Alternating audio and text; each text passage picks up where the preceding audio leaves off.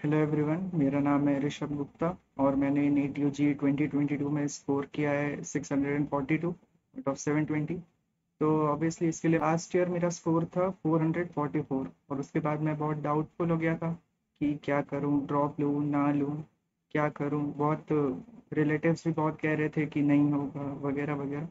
लेकिन फिर भी पेरेंट्स ने बहुत सपोर्ट किया और फिर हम इस चैनल पे नहीं है तो इसको सब्सक्राइब करते हुए चलते हैं ना? बहुत बहुत कंग्रेचुलेशन आखिर आपका सपना पूरा हो गया। हाँ।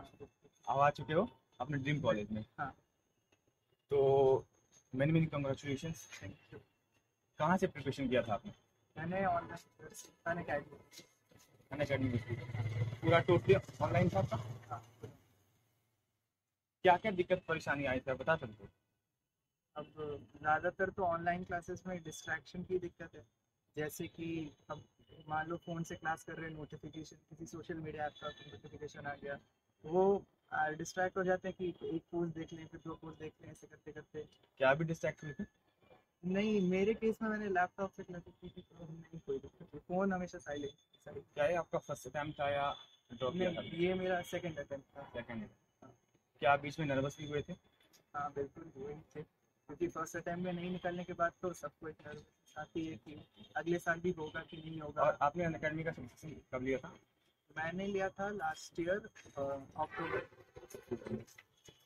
बहुत अच्छे से आपका सारा डाउट्स क्लियर होता था। हाँ हाँ बिल्कुल। इस पे मतलब टीचर्स रहते थे और हेल्पलाइन नंबर थे डाउट सॉल्व क्या हाँ क्योंकि मैं भी यूज़ करता हूँ मैं भी एक एक्सपीरियंस हूँ। जैसे बहुत सारे आजकल बच्चे हैं हाँ। जिनका निकल जाता है तो अचानक से वो अपना एक शेड्यूल डाल देते हैं जैसे मैं सोलह घंटे पढ़ाई करता था मैं कहीं डिस्ट्रैक्ट नहीं होता था मैं घर से बाहर नहीं जाता था मैं कोई शादी अटेंड नहीं करता था फ़ंक्शन नहीं करता था क्या आपके साथ भी ऐसा कुछ हुआ था? मेरे साथ वैसा नहीं होता मैं एक्चुअली घर से काफ़ी बाहर मतलब रिलेटिव के यहाँ जाता था काफ़ी जाता था। और दूसरे दूसरे शहरों में भी।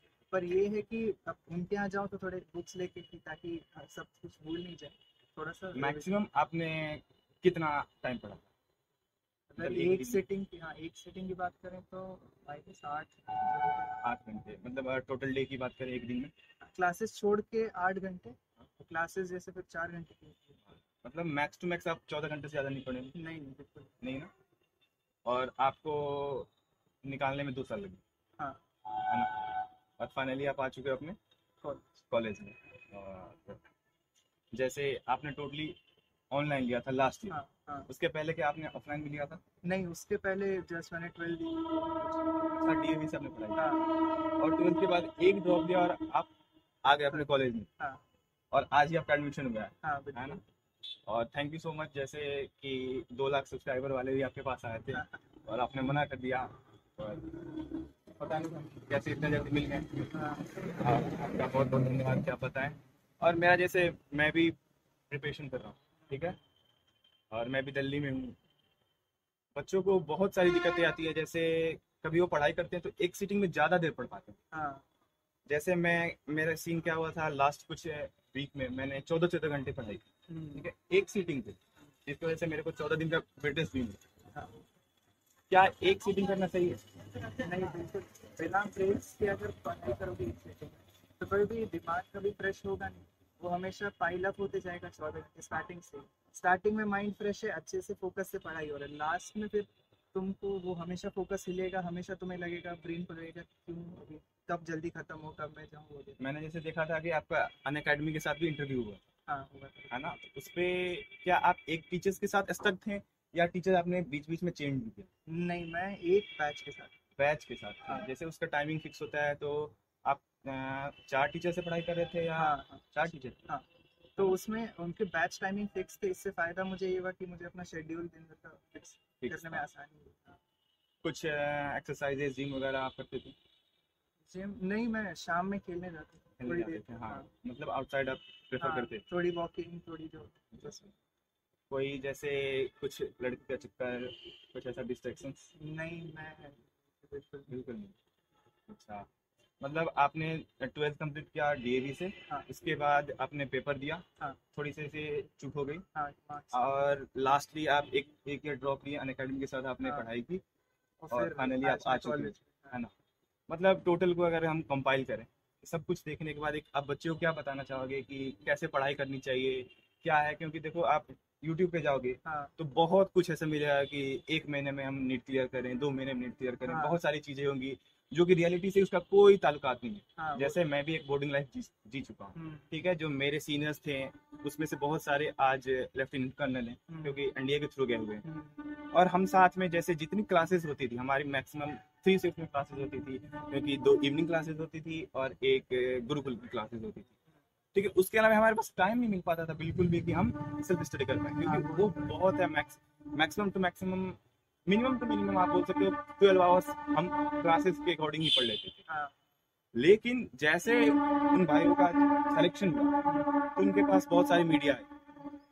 और टू बी ऑनेस्ट मैं देखा तो बिल्कुल हैरान हो गया क्योंकि हम साथ में रूममेट थे हम्म, ठीक है? हमने बहुत कुछ शेयर किया था हम साथ में पढ़ते थे हम्म, नाइट स्टडी भी हम करते थे। लेकिन कुछ सच्चाई से कोई ताल्लुकात नहीं था क्योंकि जैसे जो भी रिटर्न होता है जो भी एक चार्ट दे देते हैं कि हाँ हाँ, आप हाँ। दो घंटे ये पढ़ाई करो दो घंटे वो करो हाँ। तो आपका पूरा हो जाएगा हम्म। क्या आपके लाइफ में ऐसा कुछ था हाँ मतलब फ़र्स्ट ईयर में नहीं हुआ फ़र्स्ट अटेम्प्ट में नहीं हुआ तो ऑब्वियसली मैं मैं गया यूट्यूब पे मैंने सब शेड्यूल वगैरह देखे हाँ। वो जैसे अपलोड होते टॉपर शेड्यूल हाँ, ये वो सब पे गया फिर उन्होंने बताया फिर उन्हें ट्राई किया मैंने कि कैसे होगा हाँ। क्या होगा लास्टली मुझे यही समझ आया कि अपने से खुद का शेड्यूल जब तक नहीं बनाओगे तब तक कुछ नहीं हो सकता। क्योंकि वो टॉपर उस टॉपर का शेड्यूल इसलिए क्योंकि उसकी लाइफस्टाइल वैसी है हर बहुत कुछ मैच करता है और बहुत कुछ मैच नहीं, नहीं भी करता है। है मतलब क्या आपने कभी अपनी स्लिप साइकिल भी खराब की थी पढ़ाई के लिए? नहीं स्लीप साइकिल स्लीप मेरे लिए बहुत ज़्यादा इम्पोर्टेंट थी। मतलब मैं छः सात घंटे सोता था। पर वो पक्का फुल स्लीप कोई डिस्टरबेंस नहीं डायरेक्ट जैसे मैं अभी खुद ही डॉक्टर से प्रिस्क्रिप्टेड हूँ। हाँ। लास्ट में गया था तो मेरा स्लिप साइकिल बिल्कुल खराब हो चुका था। ठीक है जिसमें मैं कभी मॉर्निंग आठ बजे सोता हूँ कभी ग्यारह बजे सोता था। तो उन्होंने एक चीज़ बताया कि रात बनी हुई है सोने की। हाँ। ठीक है ना? अगर आप दिन में सोओगे कितना भी सो तो आपकी थकान आपकी थकावट जो भी आप नहीं आप फ्रेश अप नहीं हो पाओगे। हाँ। क्या आप इसके लिए कुछ बता सकते हो? जैसे हम लोग को पढ़ाया जाता है बॉडी क्लॉक ठीक है? तो वो बचपन से जैसे हम रात में सोते हैं दिन में जगते हैं तो बॉडी उस हिसाब से ट्रेंड हो जाती है कि उसे रात में रिपेयर करना है खुद को जितने भी वेट टेयर हुए हैं जो भी हाँ, दिक्कत हाँ। हुई तो वो रिपेयर करेगी और दोपहर में वो फुल प्रोडक्टिविटी मोड पे रहेगी। अब अगर हम जैसे तुरंत में कुछ क्लासेस की वजह से कुछ डिवाइस ऐसे अपनी स्लीप साइकिल खराब खराब करते हैं तब रात में जब रिपेयर का टाइम है तब हम जग रहे हैं। और दोपहर में जब प्रोडक्टिविटी का टाइम है तो हम सो रहे हैं तो ब्रेन के लिए एक्चुअली प्रोडक्टिविटी टाइम वो एक्टिव रहता है तो हम ढंग से सो नहीं पाएँगे। और रात में रिपेयर का टाइम है तो रात में अगर काम करेंगे ब्रेन थोड़ा स्लो रहेगा और उस समय प्रोडक्टिविटी बहुत लो हो जाएगी। हाँ तो दैट मीन्स आप कहना चाहते हो कि रात की टाइम जो है वो हाँ। सोने के लिए सही है। नहीं रात की नहीं मतलब जैसे जैसे भी उनका शेड्यूल है बचपन से बचपन से तो उसको अक्सर हम जैसे आपको पता है कि मॉर्निंग टाइम स्कूल होती है। हाँ हाँ। और तो हम रात में सोते हैं। सब और वैसे जैसे बच्चे कोटा जाते हैं और दिल्ली जाते हैं जो भी हाँ, आप बड़े बड़े हाँ, जगह हाँ। ले लो पटना ले लो ठीक है? तो वहाँ पे जाने के बाद उनके अंदर एक चीज़ आ जाती है कि रात में नाइट स्टडी करेंगे हम और दिन में सोते हैं। जिसकी वजह से मेरे को ये लग रहा है कि बहुत सारे बच्चे डिस्ट्रैक्टेड हैं बहुत कुछ क्योंकि मैंने कहीं और वीडियोस देखा था कि हम रात में तीन बजे तक पढ़ पाते हाँ। तीन बजे के बाद क्योंकि हम बाहर जाते हैं तो हमारे पास वहाँ पेरेंट्स नहीं होते हैं। हाँ हाँ। हम दस मिनट के लिए कोई सोशल मीडिया पे जाते हैं और वहाँ से हमारा दो अढ़ाई घंटा बर्बाद हो जाता है। अगर ऑन अप्रॉक्स हम दो घंटे दिन का बर्बाद करते हैं तो। आप वीक में देख सकते हो कि फोर्टीन आवर्स हम वेस्ट कर रहे हैं। और जैसे मैं एक फिट मंथ में सिक्सटी आवर हाँ। मतलब जैसे मैंने फिटजी का जो सेशन लिया था हाँ। उन्होंने बताया था मैक्स टू मैक्स मैक्स एक आई के लिए। हम्म, जो एक आई के एस्पिरेंट हैं जो भी एक्स वाई जेड हम्म। कम्पिटिटिव की प्रिपरेशन कर रहे हैं। हम्म। उन्होंने बताया था twenty seven hours is max for max self study के लिए। और हम अगर चौदह घंटे दो दो घंटे करके बर्बाद कर रहे हैं तो क्या ये गलत है? ये मैं मानता हूँ कि ब्रेन को पूरे दिन भर में एक टाइम एक स्लॉट चाहिए रिफ्रेशमेंट का। पर वो स्लॉट ऐसा नहीं होना चाहिए जिससे तुम वो स्ट्रेस बने।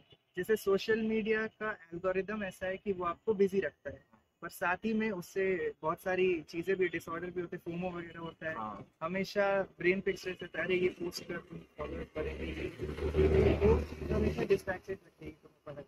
क्या सोशल मीडिया यूज़ करते थे नहीं प्रिपरेशन के टाइम बिल्कुल भी बिल्कुल भी नहीं मतलब आपने अनइंस्टॉल कर दिया था या डीएक्टिवेट कर दिया था? मैक्सिमम टू मैक्सिमम मेरे पास व्हाट्सएप था वो भी फैमिली में।